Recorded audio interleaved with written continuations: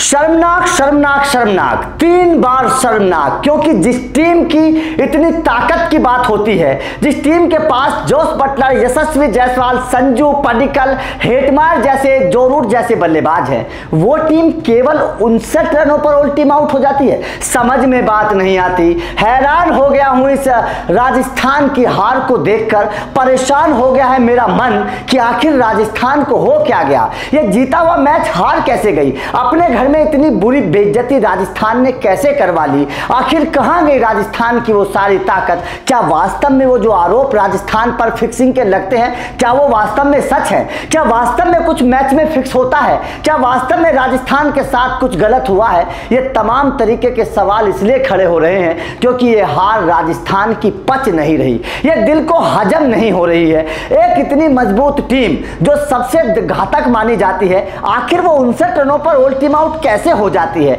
वो भी अपने घर में, वो भी उन खिलाड़ियों के सामने जिनको ज़्यादा मौका ही नहीं मिला है। ऐसी टीम के सामने आप ऑल आउट हो रहे हैं तो ज़ाहिर तौर पर सवाल खड़े होते हैं। राजस्थान की ये हार, कह सकते हैं कि राजस्थान की इस हार के साथ ही राजस्थान बाहर हो गई है। तेरह मैचों में राजस्थान के बारह पॉइंट से पॉइंट टेबल में बाहर है। 2023 का सपना जो है वो टूट गया है जीतने का, और इसी के साथ राजस्थान बाहर हो गई। लेकिन इस हार की वजह क्या है? इस हार के जिम्मेदार कौन कौन है? ये सबसे बड़ा सवाल है। तो इसमें सबसे बड़ा सवाल जो है, वो सबसे पहले तो ट्रेंट बोल्ट को लेकर खड़ा होता है कि जब आपके पास एक पावर प्ले में सबसे ज़्यादा विकेट लेने वाला गेंदबाज मौजूद था, आपने उसको क्यों नहीं खिलाया? आपने उसको बाहर क्यों कर दिया? ये चीज़ें अभी भी समझ से परे हैं। आप ट्रेंट बोल्ट को क्यों नहीं खिला रहे हैं? क्यों संजू सैमसन ने 2023 में तीन मैचों में ट्रेंट बोल्ट को बाहर रखा? क्या वास्तव में राजस्थान बिक चुकी है? क्या वास्तव में राजस्थान इस 2023 में फिक्सिंग कर चुकी है? ये बहुत बड़े सवाल खड़े हो रहे हैं जिस तरीके से राजस्थान को हार मिली है ये पच नहीं रही। क्रिकेट फैंस परेशान है। उनसठ रनों पर कैसे एक, टीम ऑल आउट हो सकती है? वो भी अपने घर में। दूसरा सबसे बड़ी वजह स्पिन के तौर पर आप अंदाज़ा लगाइए जिस पिच पर है बेंगलोर के स्पिनर्स आ रहे थे विकेट चटका रहे थे हर दूसरी गेंद पर विकेट चटका रहे थे वहाँ पर अश्विन और चहल दोनों बेकार हो गए दोनों एक भी विकेट नहीं ले पाए। आखिर ये कैसे हो गया? कहाँ गए अश्विन की और चहल की वो धारदार गेंदबाजी?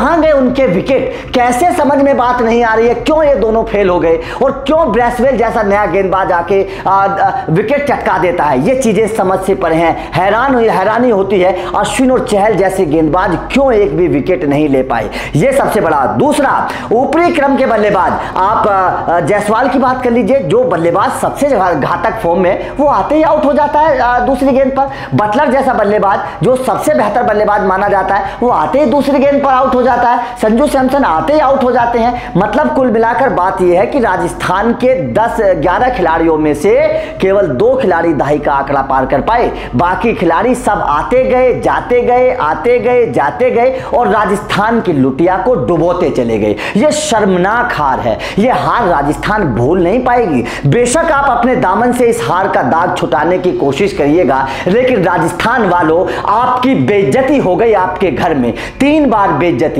दो मैच पहले आप अपने घर में हारे, तीसरा मैच फिर हार गए। आपकी बहुत गंदी बेइज्जती 2023 में हुई है। इतनी गंदी बेइज्जती 2023 में किसी टीम की नहीं हुई, जितनी आपकी अपने घर में हुई है। तो इसीलिए राजस्थान की इस हार की जिम्मेदार कोई एक खिलाड़ी नहीं है।